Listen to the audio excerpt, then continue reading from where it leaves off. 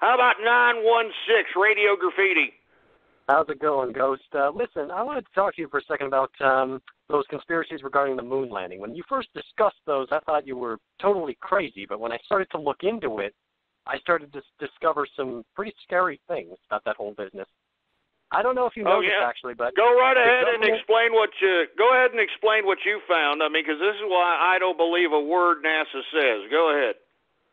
Well, the thing that really shocked me was um, NASA actually got Stanley Kubrick to fake the moon landing. Believe it or not, he was in charge. And well, that's that's he, speculation. I mean, uh, uh, I no, mean, no, listen. No. Uh, let me um, let me um, let me back that up with the evidence. All right. You know how much of a um, how much of a um, perfectionist that Kubrick was in all of his movies and whatnot. The thousand shots he'd do for one scene. So, in order to fulfill that perfectionism, he had them drag the entire set up to the moon to fake the moon landing. I mean, I could not believe this when I heard it. Oh, just shut up. Shut up, you stupid moron. You see, it always takes a jag off like this to sit here and, you know, make some kind of fictitious, ridiculous little side jab at the actual fact that NASA's a complete lying organization, all right? It's a complete lying organization. You know, one question I'd like to ask, why doesn't why don't any of the damn astronauts ever pan to the other side? Why don't they ever pan the camera to the other side? You know, the whole fourth wall thing, you know? And for you folks that are unaware, uh, you know, that's how they videotape or video record uh, sitcoms. You know, that fourth wall. You know, you're viewing the people on like a sitcom from the fourth wall that doesn't exist. That's why the camera can never show the fourth wall because it doesn't exist because that's where the cameras are at. How come there's not been a damn astronaut that hasn't been out there and just panned a, a damn camera, uh, you know, into the black space, into black. I mean, you know, they're, they're, I'm just saying. I'm just saying. And not to mention, folks, uh, I mean, if you take a look at the footage of the moon landing, it seems as if the camera crew was already there to basically witness this spaceship that was designed by NASA to land on the moon. So, you know, apparently Neil Armstrong and these guys were not the first ones on the moon. It was obviously the damn uh, uh, the, the camera crew. And I don't know if you saw when they blasted off from the moon, they left the camera crew there as well because they have a perfect pan upward as the damn uh, whatever spaceship they used to supposedly get to the moon blasted off, and there's a pan going upward as if they left the damn camera crew there. It is the fakest crap I've ever seen in my life. How come we haven't gone back? All right? How come we haven't gone back, for Christ's sake? Answer that. How come we have not gone back to the goddamn moon then? I mean, remember uh, they made so many trips there in the in the 70s, and and even it was the last uh, moon trip was like 1980, 81 or some kind of garbage like that. For Christ's sake, how come they haven't gone back? Supposedly there's a goddamn moon buggy over there. Remember they were playing golf on the moon. What a what a joke. What pure mockery for Christ's sake. And we're supposed to believe this crap? We're supposed to believe this garbage? I don't believe a goddamn thing that NASA says. I think it's a completely deceitful organization. And if it was up to me, uh, and if I were Donald Trump, I would just liquidate freaking NASA. I would sell all the garbage that these idiots have built as nothing more than set props, as far as I'm concerned, and just sell it all to the highest bidder, for Christ's sake.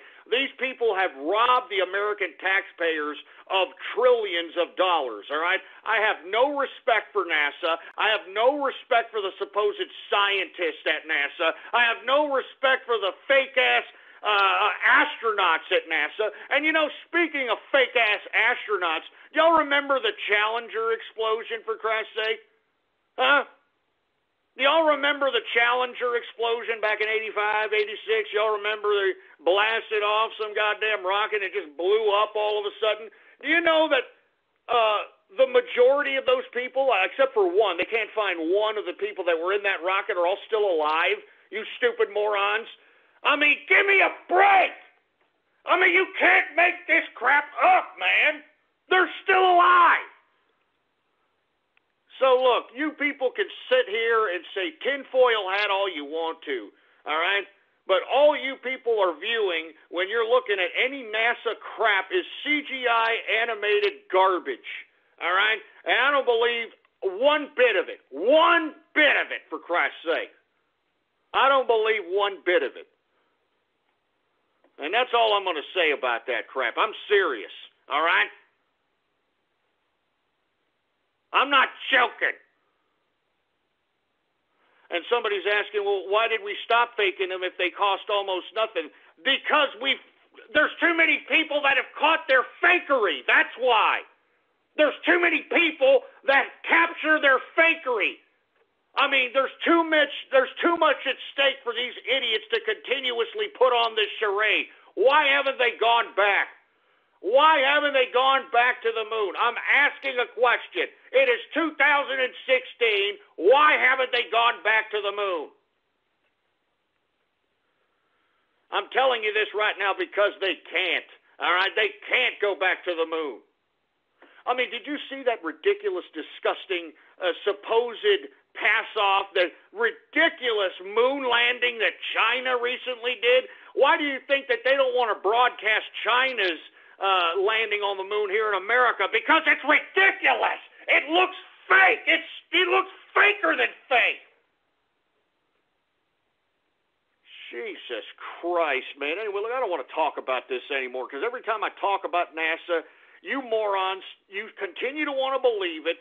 You continue to believe that some dumbasses uh, that are just sitting around, you know, uh, pulling out hyperbole of mathematics out their ass to justify why these ridiculous theories of Copernicus and and all this other crap are actually in existence that they actually are real for Christ's sake. It's just pathetic. I mean, why do you think that they have this dumb show, The Big Bang Theory, and this, you know, this idiot, this asshole that's one of the main characters, Sheldon Cooper, is supposed to be some brilliant mind, and yet he's just a half a fruit bowl that just sits around and, and waxes his carrots on Saturday night and does his laundry and uh, you know plays video games, World of Warcraft, goes to Comic Con and all this other crap, and yet he's supposed to be some brilliant mind. Why? Because this moron can sit back and just ca- compute and calculate a bunch of stupid ass mathematical hyperbole so that he can justify some whacked out crackpipe theoretical idea that on paper makes him look brilliant, but in actuality it's just utter crap. It is utter, utter hyperbole crap. Just like Stephen Hawking. As a matter of fact, let's get some inspiration from the smartest man in the world, shall we? This is supposed to be the man that's the expert on the universe, the man that says there is no God, that, uh, you know, the, the, the cosmos blew a fart Big Bang came around, and lo and behold, we got the goddamn universe out here. And you know, I find it funny that the man that is the least likely candidate to go up into a rocket to see if his goddamn theories are valid is the man that's supposedly the most brilliant man as it relates to space. All right? I mean, just give me a break. All right? Give me a freaking break. Put Put on Stephen Hawking, engineer. This is Stephen Hawking, a legitimate voice. This is his real voice before they put in that voice box that they pre-program for him and they keep him alive with a damn Hoveround and a goddamn breathing tube. Put it on, engineer, God damn it.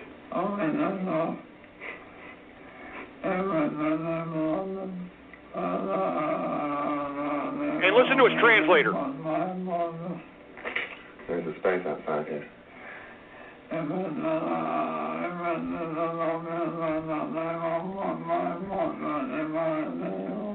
You make it fairly obvious that they'll put Stephen's portrait if he leaves.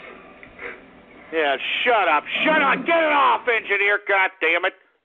Yeah, that's the most brilliant man in the world. This is the guy that's supposed to be Mr. Brilliant of the galaxy, of the universe, and quasars and black holes and all this other crap.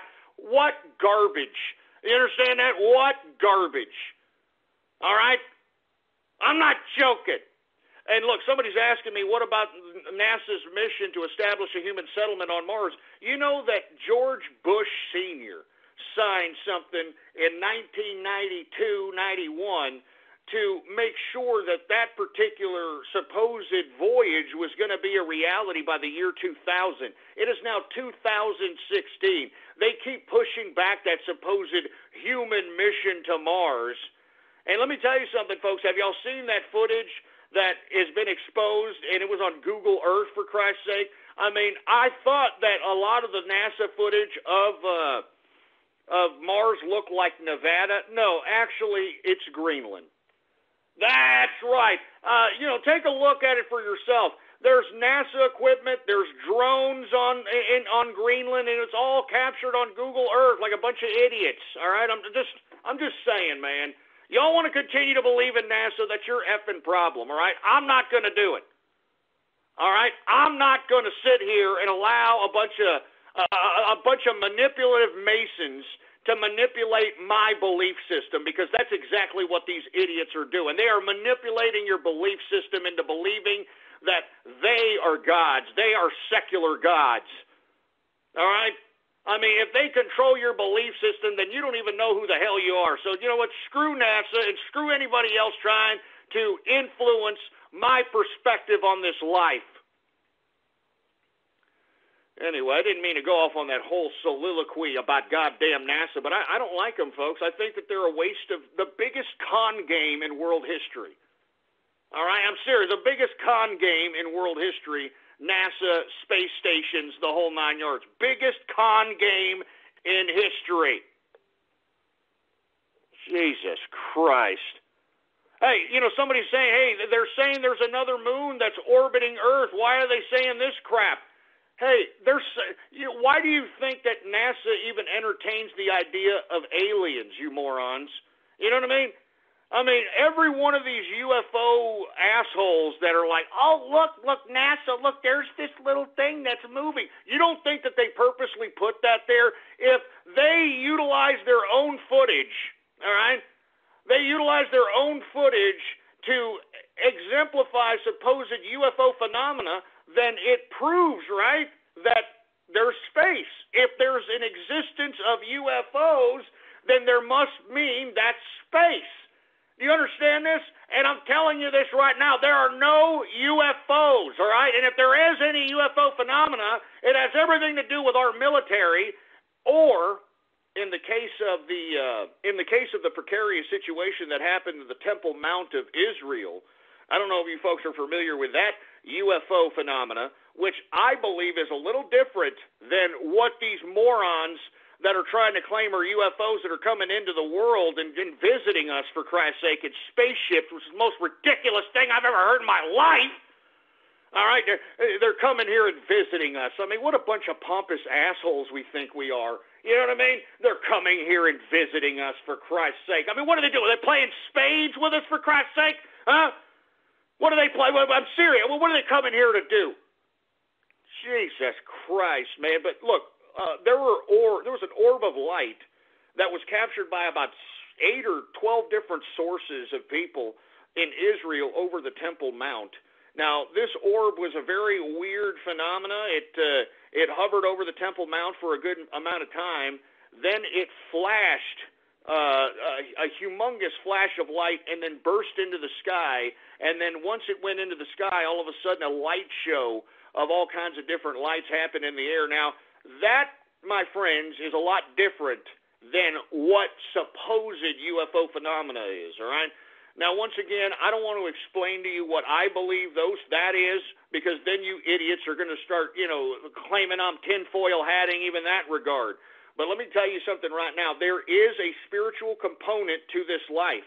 And the reason why you have NASA trying to push forth this terra firma idea of planets and exoplanets and moons and stars and quasars and all this other crap is so that you people uh, are spiritually dumbed down, that you have no idea what spirituality is, and that you are completely ignorant of the laws of God, the laws of God of this world. All right? I'm serious. I'm not kidding around.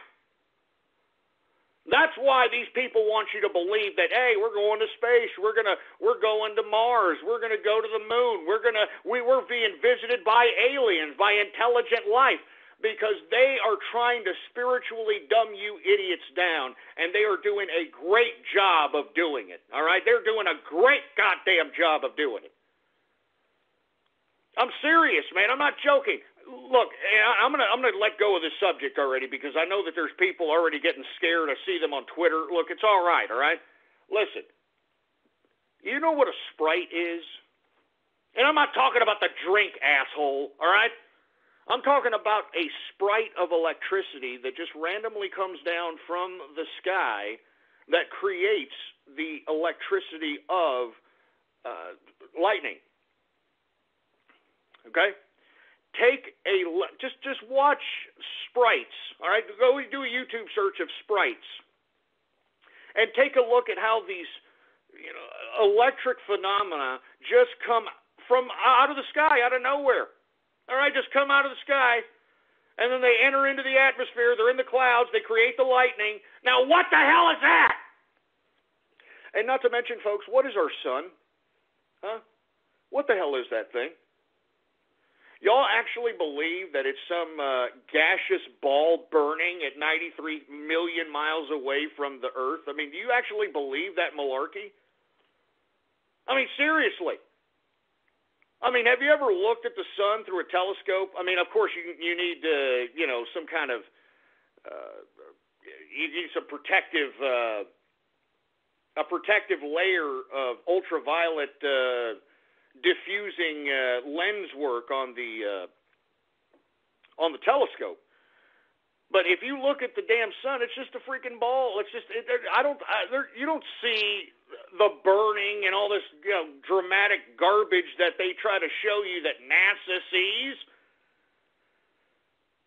I mean, I'm going to be completely honest with you folks. Not even scientists know what the damn sun is. All right? They don't know. They don't know what it is. So, look, that's all I'm going to say about that. But let me tell you something right now.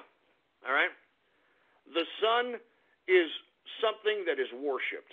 The moon, it is something that is worshiped by the people that are in charge of our planet or our country, of our our world, or whatever you want to call this place. All right? Believe me. Not to mention the North Star. I mean, these are all deities that are literally worshipped.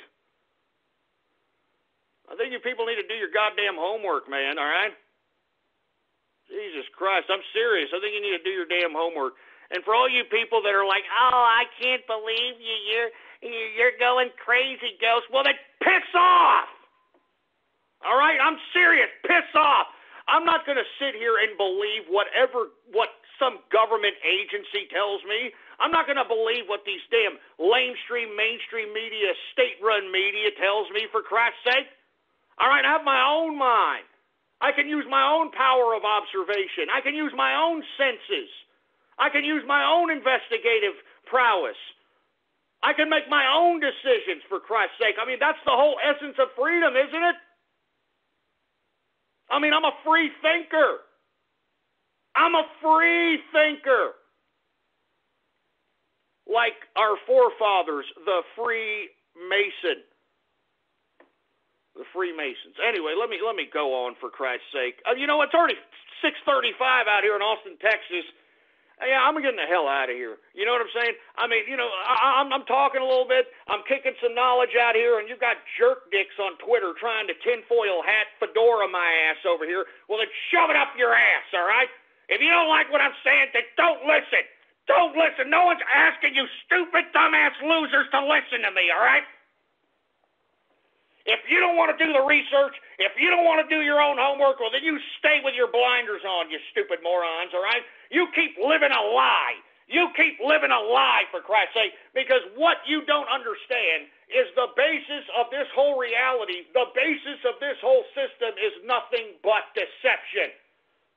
Do you understand that? It's deception, it's lies.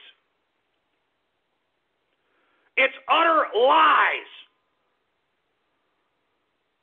Jesus Christ, man. I'm not joking around. It's utter lies. So you people can continue to live your your fantasy land. All right, you go right ahead. I could care less. All right, that's why I, you know what I do. Even if I know this for a fact, even if we know that NASA is a complete bunch of fakery, there's nothing you can do about it. What are you going to do? You know, what, what are you going to do? What I do is utilize the truth and then base my whole life on the fact that this whole goddamn place is an utter lie. So what I do is try to make my life better, try to make my life that much more lavish because hey, I mean, what difference does it make? That's why I'm telling you, you have to be a capitalist, baby. You have to be a capitalist because when you delve in realism, and I'm, t- I'm talking about realism philosophy, that's what I delve in. I don't play in fantasy land like the majority of people in America, like the majority of the people in the world, for Christ's sake. I am a realist. And I base my decisions, I base my life, I base my financial life, I base my social life, my personal life based upon these observations. Do you understand that? That's what I'm saying. That's what I'm saying, for Christ's sake. So that's all there is to it. As a matter of fact, I'm getting the hell out of here. You people are sitting here thinking that, you see, and this is what the thing about it is. You people, uh, you take a couple of classes in astronomy, and all of a sudden you idiots think you're freaking experts, for Christ's sake, all right? I mean, give me a freaking break. All right? Why haven't we gone back to the moon, assholes? All right? Why can't the people on the International Space Station pan the camera instead of facing towards the earth? Why don't they pan it the other direction, in the direction of the quote fourth wall? Because they can't. Because they can't. All right? Why can't any astronaut, uh, you know, basically have a camera phone or, or a camera and put it right there towards the window as they're blasting off into supposed space? Huh?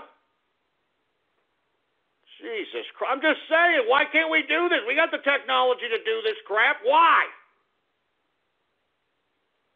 Because they don't want you to see what's going to expose their lie. And somebody's asking me, well, what do they do with all the goddamn money? Uh, your guess is as good as mine. All right? Your guess is as good as mine, for Christ's sake, folks. I'm telling you this right now. Who the hell knows? They went into somebody's pocket.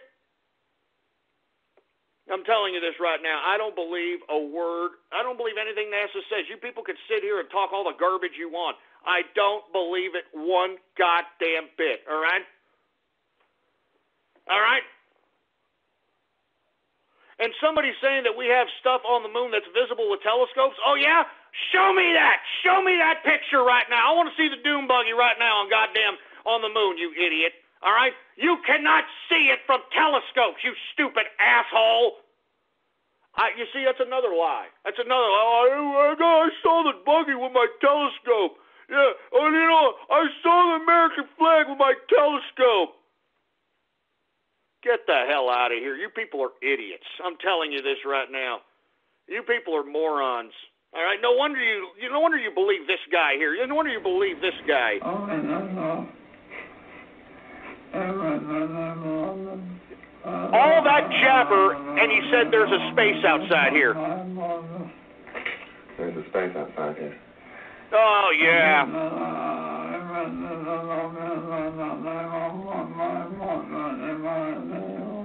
Think make it fairly obvious that they'll put Stephen's portrait if he leaves. That's exactly. You see, and you see, they had an interpreter next to Stephen Hawking for the longest time, and you see, they couldn't do it. They couldn't pull it off because give me a break. That idiot didn't say that. He's just jabbering. He's probably saying, "Please help me change my diaper. Yeah, please help me. I'm hungry. I'm a malnourished wreck. Please help me." And he's got this interpreter. Oh, oh there, there's a space outside here. Oh yeah, there's there's quasars and black holes. I mean, no wonder they programmed it with the freaking voice box for Christ's sake. Jesus Christ.